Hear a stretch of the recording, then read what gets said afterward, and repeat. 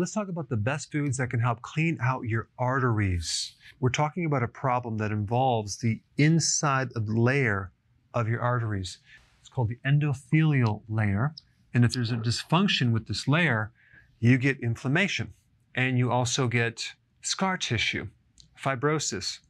You also have calcium buildup and cholesterol buildup, and you can also have a clot, which is a little bit different.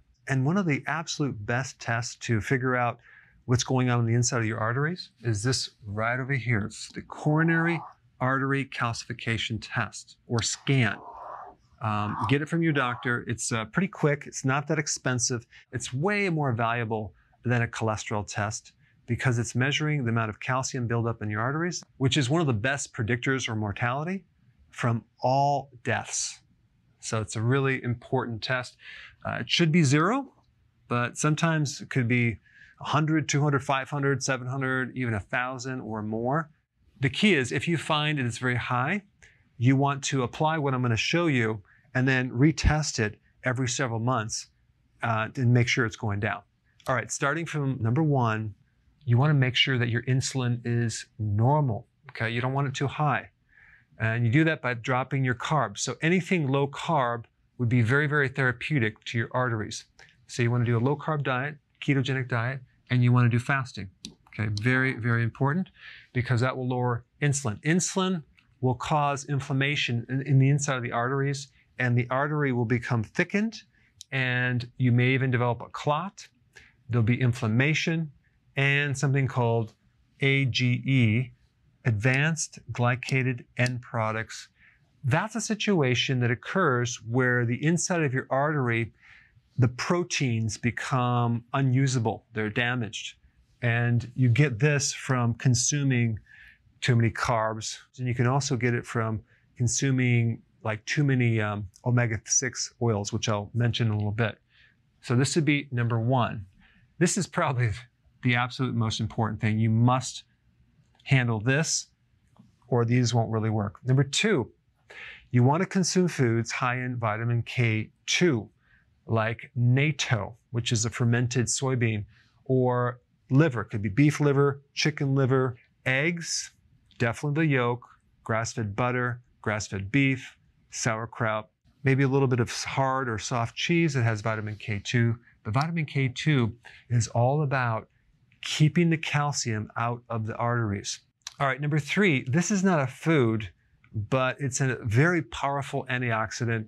Tocotrienols is different than tocopherols. This is the vitamin E complex. Tocotrienols are 50 times stronger than tocopherols. Now, if you're consuming green leafy vegetables, you're going to get a good amount of vitamin E. So you can also do that. But if you actually have damage inside your arteries, tocotrienols would be something I would highly recommend because they're very, very powerful. They can stop the fibrosis or scar tissue from getting any worse, and it gets rid of free radical damage. All right, number four, decreasing omega 6 fatty acids. So you need to get rid of the soy oils, the corn oil, the canola, the cottonseed out of your diet and replace that with omega 3 fatty acids. Fatty fish, salmon, cod liver oil.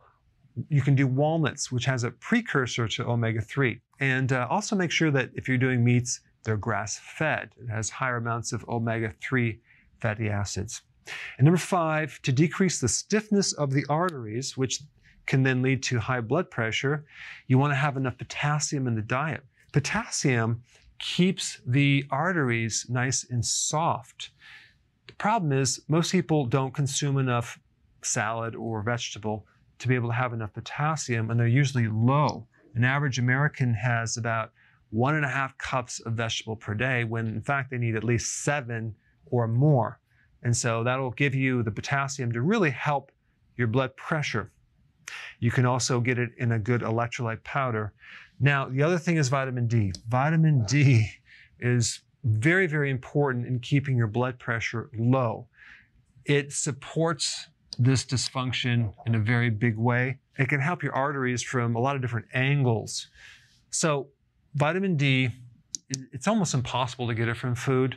Uh, you can get it from fatty fish and cod liver oil, but the best way is through the sun or a supplement. Um, here's the thing you need about at least 10,000 IUs of vitamin D or even more to drop blood pressure. But you'll actually see that blood pressure will come down when you take it. So the combination of potassium and vitamin D is very, very um, powerful in keeping the arteries from being too stiff. Now, there's another um, good remedy for high blood pressure, pomegranate. Okay, you can get it as a supplement or consume the seeds in your salad. Uh, it has great properties to lower blood pressure. So there you have it, some foods to focus on to keep your arteries clean. So if you want more knowledge on how to create a healthy body, subscribe now and get daily notifications. Daily notifications, that sounds weird.